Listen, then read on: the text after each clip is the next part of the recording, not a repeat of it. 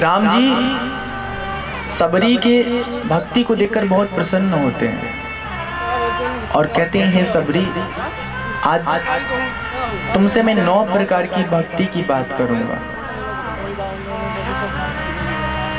कौन सी बातें बताते हैं भक्ति के बारे में नौ प्रकार के?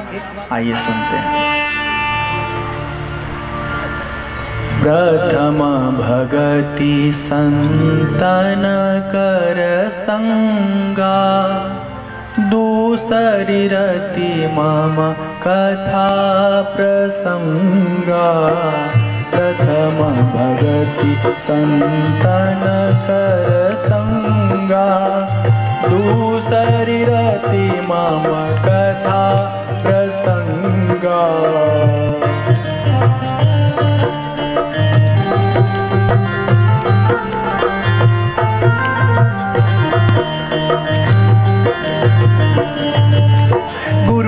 पंकज सेवा, तीसरी भक्ति अमान चौथी भक्ति ममा गुणगन करें कपट तजगान जय सिया राम, जय जय सिया राम। जय सिया राम, जय जय सिया राम। जय जय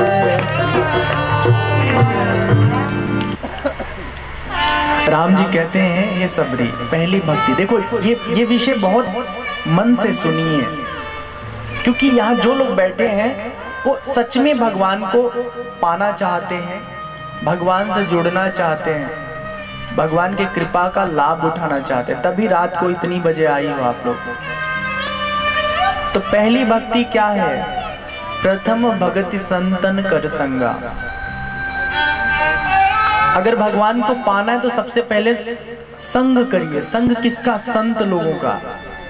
अब बात जब संत की हो रही है ना तो संत तो एक तो पेटेंट संत हैं, जो टीका चंदन लगाते हैं, गले में कंठी माला पहनते हैं, सफ़ेद और गेरुआ कपड़ा पहनते हैं। लेकिन ऐसा नहीं है।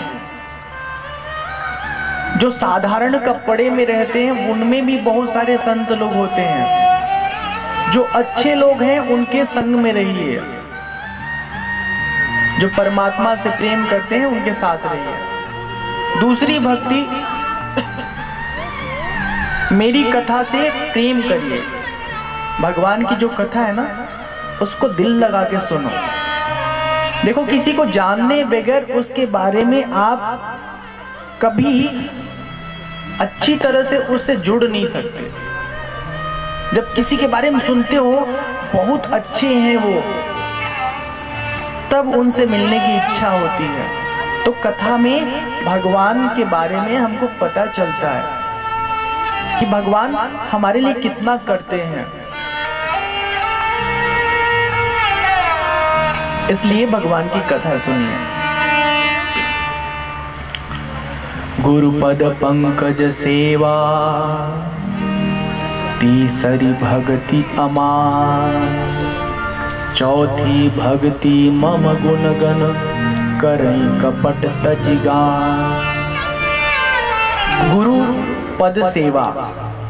इसका मतलब क्या है? ये नहीं कि बाबा जी का पैर दबाओ। हाँ घंटा घंटा। उससे कुछ भला नहीं होगा। उन्होंने जो ज्ञान दिया है आपको जीवन में अमल करने के लिए ना, उस पर विचार करो।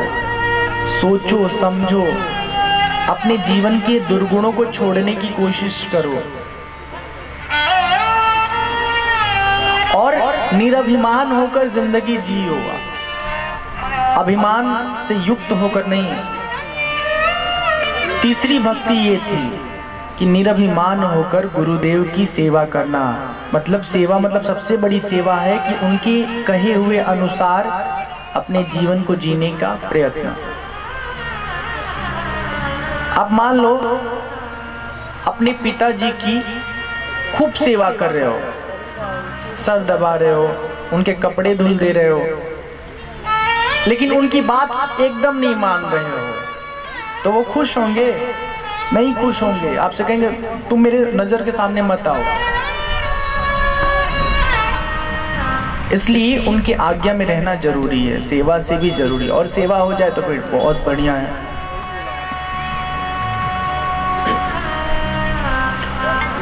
चौथी भक्ति मम गुणगन करें कपट तजिगान भगवान का जो गुणगान है ना, एकदम सच्चे मन से होना चाहिए, एकदम सच्चे मन से। उसमें मिलावट नहीं करनी चाहिए। कुछ लोग पूजा पाठ के नाम पर ढोंग करते हैं।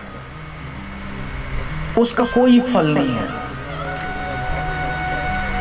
छोटा पूजा हो, सत्यनारायण व्रत की कथा हो एकदम ठीक ठीक तरीके से हो। दिखावा ना हो। हम सब अधिकतर दिखावा करते हैं। कैसे दिखावा करते हैं? जब पूजा करेंगे ना तो पंडित जी से सामान की लिस्ट बनवा लेंगे हाँ? फिर दुकान पे जाएँगे। और कहेंगे, सेठ जी, भाई पूजा का सामान दे दीजिएगा। तो पूजा का सामान देने का मतलब क्या? सब एक्सपायर माल जितना आपके पास हो, सब दे दीजिए। सड़ी हुई सुपारी किसको चढ़ाएँगे? गणेश जी को चढ़ाएँगे। और लाल लाल कपड़ा आता है, किस लिए? भगवान को चढ़ाने के लिए। कच्चा भी बने तो फाट जाए। होता है ना कुछ?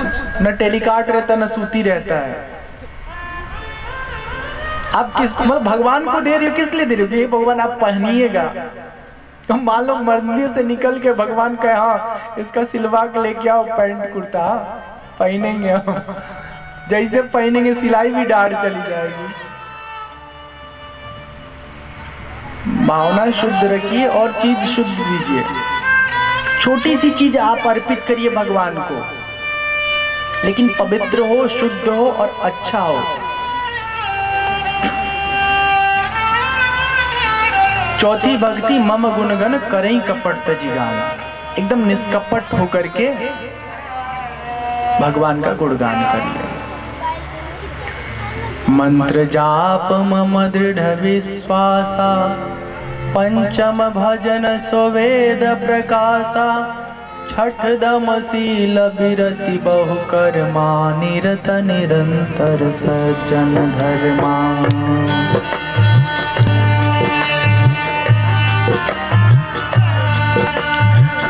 सातव सम मोहि मैं जग देखा, मोते संत अधिक कर लेखा। आठव जथा लाभ संतोषा, सपने हो नहीं देख पर दोषा।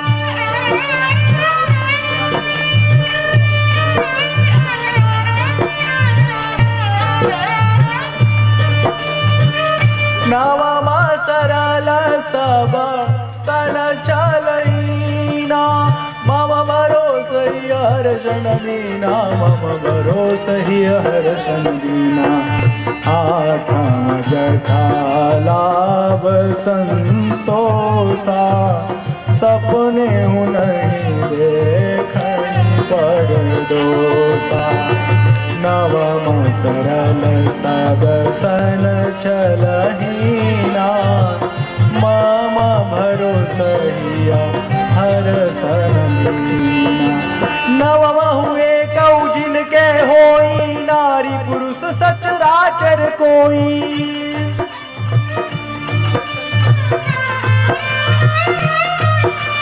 सोई अतिशय प्रिय भामिनी मोरे, सकल प्रकार भगत दृढ़ तोरे।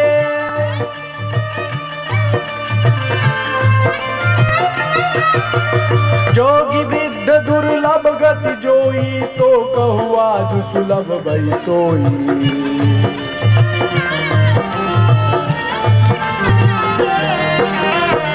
मम दर्शन फल परम अनुपा जीव पावनि सहज स्वरूपा जय सिया राम, जय जय सिया राम। जय सिया राम, जय जय सिया राम। जय सिया राम, जय जय सिया राम। जय जय सिया राम जय सिया राम जय जय सिया राम जय जय सिया जय जय सिया राम जय सिया राम जय जय सिया राम जय जय सिया राम जय जय सिया राम जय सिया राम जय जय सिया राम जय सिया राम जय जय सिया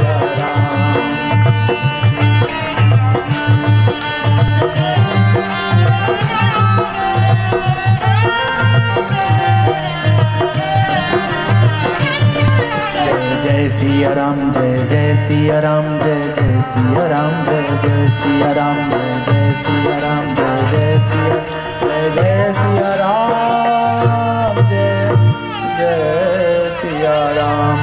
सियावर रामचंद्र की पवन सुत हनुमान की उमापति महादेव की। ओम नमः पार्वती पते हर हर महादेव। मंत्र जाप मम दृढ़ विश्वासा, पंचम भजन सुबेद प्रकाशा। भगवान श्री राम भगवान श्री कृष्ण भगवान भोलेनाथ, जो भी आपको पसंद हैं उनके नाम के मंत्र का खूब दिल लगा के जप करिए। ये भगवान को पाने की पांचवी भक्ति है, पांचवी प्रकार की भक्ति है। छठ दम शील बिरति बहु कर्मा, निरत निरंतर सज्जन धर्मा। ढेर सारे कार्यों में ना हम खुद को उलझा के रखते हैं। उससे सबसे बड़ा जो नुकसान होता है वो हमारे समय का होता है। आपके पास पता है ना कितना घंटा है? दिन रात मिला के। कितना घंटा? चौबीस घंटा। हाँ। एकदम सही बताइए आपको मिलेगा एक तो महाल एक तो टाफी, है। इनको याद कर लीजिएगा ना, शुभम। कौन बताया अब 24 घंटा में चाहे 18 घंटा सो लीजिए और बाकी 6 घंटा काम करिए। चाहे 6 घंटा सो के 18 घंटा काम करिए। उतने समय है। होता क्या है, हम अधिकतर समय इधर उधर का ना बात में बर्बाद कर देते हैं। और भगवान के पास जाते हैं तो जल्दी जल्दी शताब्दी एक्सप्रेस की तरह ओ जैन मान जाओ को पितु जय को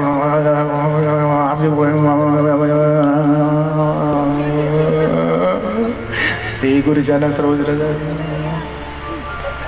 हो गया। भगवान कंफ्यूज रहते हैं कि हमको प्यार से हमारी प्रार्थना कर रहा है कि हमको गरिया रहा है। जब भगवान के पास जाओ, पाँच मिनट जाओ, दो मिनट जाओ, शांति से आँख बंद करके बैठो। बाहर जो भगवान का प्रतिमा है, उसको देखो और अंदर जो परमात्मा है, उसका अनुभव करो। और एकदम छोटे में, जैसे वो आता है ना हेडलाइंस आज की ताज़ा खबर। तो ऐसे अपने दिल की ताज़ा खबर भगवान को बताता। भगवान जी, देखिए, हमारा मन बहुत उदास है, इसको ठीक करिए, खत्म। आज हमने किसी को दुख पहुँचा दिया है, अनजाने में, कल से ऐसा नहीं करेंगे। क्यों मेरे साथ ऐसा ही होता है? सब लोग मुझे समझते नहीं है। सबकी बुद्धि क्यों नहीं ठीक कर देते? ताकि सब लोग मुझे समझना शुरू कर दें। ऐसे छोटे छोटे लाइन में भगवान से अर्जी लगा दीजिए। भगवान अपना काम करना शुरू कर देंगे। जैसे मान लो आपके गाँव की नाली टूट गई है तो आप क्या करते हैं? आप सरपंच से, प्रधान से एक एप्लीकेशन डाल देते हैं। फिर जब उसके पास फंड आता है तो बेचारा बनवाता है। ऐसे भगवान के पास भी जब समय रहेगा तो आपका काम कर देंगे। तो बहुत सारे कामों में अपने को उलझा के नहीं रखना है। कहने का मतलब ये है जितना अधिक से अधिक समय बचा सको वो अपनी भक्ति में अपने जीवन के अच्छे कार्य में उसका प्रयोग करिए। सातम सम मोहि मैं जग देखा, मोते अधिक संत करी लेखा। सातवीं प्रकार की भक्ति कि जितना जगत आपको दिख रहा है आँखों से, उसको ऐसा अनुभव करो ना कि वो परमात्मा का स्वरूप है। देखो, असल में जो शिव जी के मंदिर में जाते हो, शिवलिंग है, चाहे दुर्गा जी की प्रतिमा है, वो क्या है? वो केवल पत्थर है। लेकिन प्राण प्रतिष्ठा की पूजा करके हमने मान लिया है कि उसमें परमात्मा है, और ये सच भी होता है। तो जब उसमें परमात्मा है तो क्या देह में परमात्मा नहीं है? देह में दुरात्मा है? नहीं, देह में भी ईश्वर है। तो जब आप किसी से मिलिए तो उसको जब नमस्ते करिए ना तो देखिए उसको खुश उसको करिए। लेकिन भीतर से ऐसा महसूस करिए कि हे प्रभु अंतर्यामी प्रणाम है आपको। जब किसी की सेवा करिए किसी को जल पिलाइए किसी को भोजन कराइए तो ऐसा महसूस करिए कि हम इसको नहीं कुछ दे रहे हैं इसके लिए कुछ नहीं कर रहे हैं। इसके भीतर जो प्रभु बैठे हुए हैं ना उसके लिए कर रहे हैं। तो फिर क्या होगा? कोई आपको दुश्मन दिखेगा ही नहीं। सब आपको भगवान दिखने लगेंगे। कठिन है, लेकिन असंभव नहीं है। कोशिश करके देखिए। कुछ लाभ होगा। आठम जथा लाभ संतोषा। सपने हूँ नहीं दे पर दोसा जीवन के हमारे सबसे बड़ी समस्या ये है, असंतोष। और इसके कारण हम सबसे अधिक दुखी होते हैं। आपको पता होगा, लोग पैसा कमाने के लिए ओवर टाइम करते हैं। और ओवर टाइम कर करके अपनी शरीर खराब अपना शरीर खराब कर लेते हैं। फिर जो ओवर टाइम करके पैसा इकट्ठा करते हैं ना, वो बाद में शरीर को ठीक करने के लिए हॉस्पिटल को दान कर देते हैं। बात समझ में आई ना? एक मोबाइल का उदाहरण सबसे बढ़िया है। मोबाइल होता है फ़ोन देख, फ़ोन पर बात करने के लिए हाँ। आजकल सुविधा आ गया है कि उसमें आप ईमेल चेक कर सकते हैं, इंटरनेट के ज़रिए आप रेल की टिकट, जहाज़ की टिकट बना सकते हैं। और टीवी किस लिए होता है? टीवी देखने के लिए, सिनेमा देखने के लिए, कि डिस्क का केबल लगा दिया और अपना प्रोग्राम देखने लगे। अब ये बात हम क्यों कह रहे हैं? क्योंकि ये जो बच्चा लोग है ना, और बड़े लोग भी, उसमें पच पच तो फ़िल्म रखेंगे और राती में रजाई के नीचे डाल के फ़िल्म देखते रहेंगे। और जो बैटरी साल भर चलने वाली है, वो बैटरी छह महीना में फेल हो जाती है। अब ओवरलोड काम लोगे तो बैटरी सपोर्ट करेगी। टूट फूट जाएगी अंदर से। ऐसे ही शरीर की भी क्षमता है। अगर आप इससे बहुत अधिक काम लेने लगोगे तो फिर क्या होगा? अंदर से एक एक बत्ता जो है ना, कमज़ोर हो जाएगा। पैकिंग अच्छी रहेगी, लेकिन अंदर का सारा आइटम लूज हो जाएगा। अब इसका उदाहरण आपको बताते हैं। आप टोस्ट मंगाते हैं ना, टोस्ट, चाय में डुबा के खाने वाला, कुरकुर कुरकुर होता है। ऊपर से पैकिंग ठीक रहता है।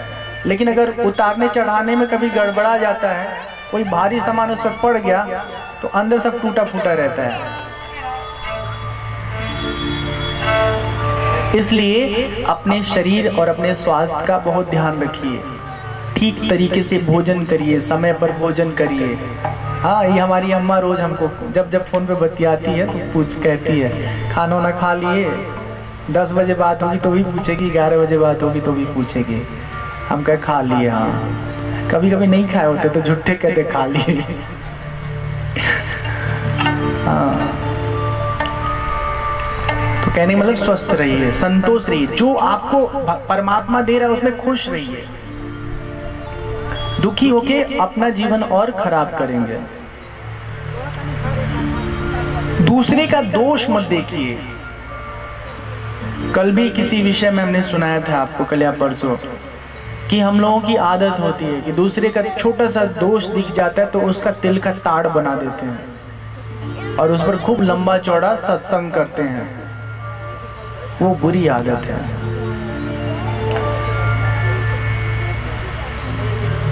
नवम सरल सब सन छलहीना। मम भरोस हिया हर सन दीना। नवी भक्ति सबके साथ सरल हो जाइए। किसी को चीट मत करिए, किसी को धोखा मत दीजिए, किसी को गुमराह मत करिए। एकदम साफ़ सुथरी ज़िंदगी जीने की कोशिश कीजिए। इसमें भी हम दो नंबर होते हैं, फेल होते हैं। फ़ोन आता है ऑफ़िस से तो पापा कहते हैं, बेटा, बोल दो, पापा घर पे नहीं है। तो कहता है, अंकल अंकल, पापा ने कहा है ना कि पापा घर पे नहीं है। पकड़ में आ जाता झूठ। तो गलत सिखाते हैं, फिर वो एक दिन हमसे भी गलत बोलता है, झूठ बोलता है, उसकी आदत में शामिल हो जाती है। नहीं बोलिए। नवम सरल सब सन छल ही नाम भरोस ही हर सन दीना। मेरा भरोसा करो, जो तुम्हें चाहिए मुझे बोलो, हम कुछ न कुछ व्यवस्था करेंगे। बाकी इधर उधर हाथ हाथ फैलाने से कुछ नहीं मिलता। सबके बाप जो है ना, वही मालिक हैं हमारे राम जी। या आपके कृष्ण जी हाँ? तो जो कुछ चाहिए उनको बोलो, वो सही माध्यम बनाकर आपको आपकी ज़रूरत दे देंगे। यदि आप उसके पात्र हैं तो पात्र नहीं है तो कभी नहीं मिलेगा। भगवान कहते हैं इस तरह की नौ प्रकार की भक्ति बताने के बाद कि एक प्रकार की भी भक्ति किसी के जीवन में आ जाए ना तो उसको मेरी प्राप्ति हो जाती है। और जब मेरी प्राप्ति होती है ना तो मेरा दर्शन होता है। और उस दर्शन का फल क्या होता है? जीव सदा सदा के लिए दुख के तप्त से, दुख के प्रभाव से छूट जाता है। इतनी सारी बात करने के बाद अपने बारे में राम जी बताते हैं। जानकी के हरण की बात। सबरी उनको कहती है कि हे प्रभु आप यहाँ से जाएँ। पंपा सर के पास आपकी सुग्रीव से हनुमान मित्रता कराएँगे और वो आपको आपके इस सीता की खोज में मदद करेंगे। देखो एक भक्त भविष्य की घटना को बता रहा है। क्यों बता रहा है? यही भगवान के भक्ति और भगवान के प्राप्ति का फल है।